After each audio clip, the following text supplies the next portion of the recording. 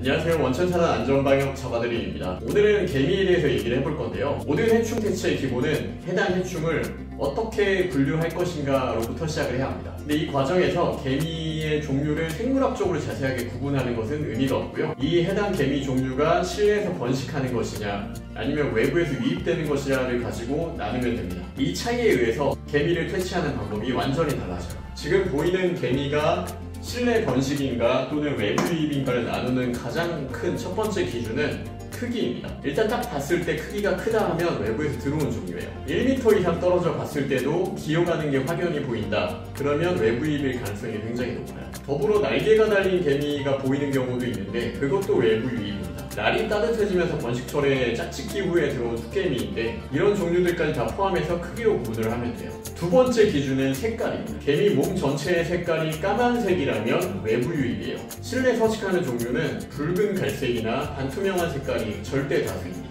개미가 바깥에서 들어왔다면 살충제를 뿌려서 없애야 돼요. 개미도 생물 계통상 벌의 일종인데 경험상 벌 종류들은 살충제에 매우 취약합니다. 살충제 엄청 민감하기 때문에 쉽게 처리할 수 있어요. 들어와 있는 개미를 살충제로 없앴더라도 외부에서 추가적으로 유입될 수 있기 때문에 들어올 수 있는 통로를 막으면 좋은데요. 바깥에서 들어온 개미는 흙이나 뭐 나무 갈라진 틈 등에 서식을 하는데 이런 틈들이 창문과 가깝기 때문에 창문 통해서 유입이 되는 경우가 많습니다.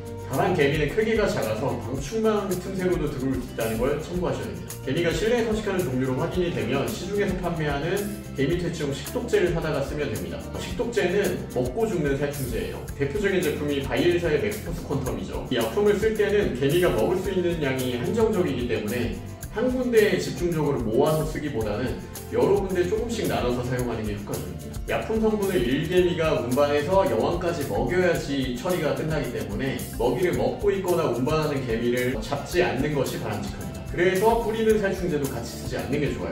개미가 보인다면 크기와 색깔 이 두 가지 기준으로 구분하면 된다는 점 꼭 기억해 주세요.